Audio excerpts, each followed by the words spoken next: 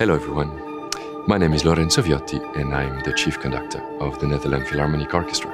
Every time I think Stravinsky is played, we, we really need, as a public, to go in that concert hall and to imagine people dancing.